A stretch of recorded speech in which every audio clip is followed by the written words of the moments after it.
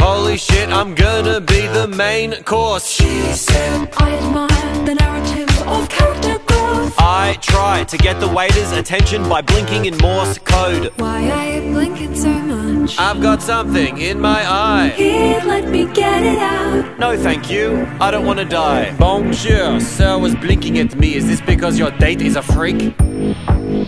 No. Very good then. Bon appetit.